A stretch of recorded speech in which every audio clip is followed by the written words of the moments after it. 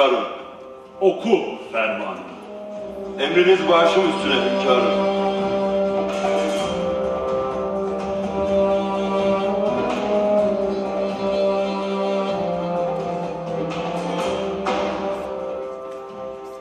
Eskiden beri tasarruf yetkisine sahip Ermeni rahiplerin aynı dine mensup Habeş, Kıpti, Süryani milletlerinin ve bunların telekelerinin yine tasarrufa yetkili olduklarına karar verilmiştir. Bunlara kimse müdahale edemeyecektir. Evlatlarım, vezirler, salihler, kadılar, beylerbeyi, sancak beyleri, voyvodalar, subaşılar ve sair kullarım bununla amel etsinler.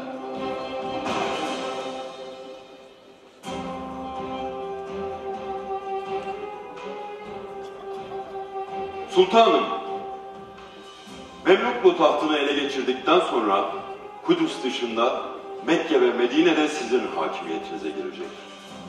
Üç kutsal mescidin tek hakimi siz olacaksınız. Hamdü senalar olsun ki Yanılıyorsun paşa.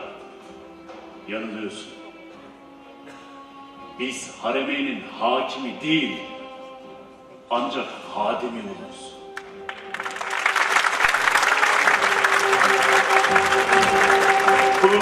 Cehaletini bağışlayın. Hakikat buyurduğunuz gibi hünkârım. Hayırdır paşa? Başka bir şey mi var? Sultanım, bugün yaşlı Hristiyan bir kadını bir sepetin içinde hayvan pisliği taşırken gördük. Neden taşıyormuş? Sultanım, Yahudilerin mabedine dökerlermiş. Rahipler cemaatlerine bunu söyler, emir telakki ettirirlermiş.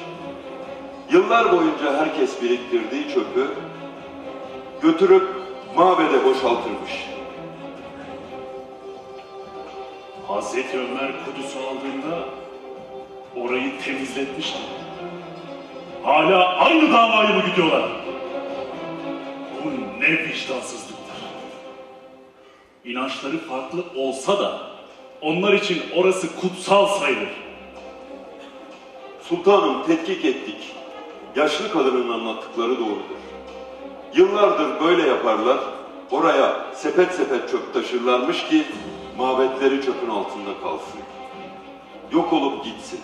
Hiçbir izi kalmasın diye. Yazık. Çok yazık.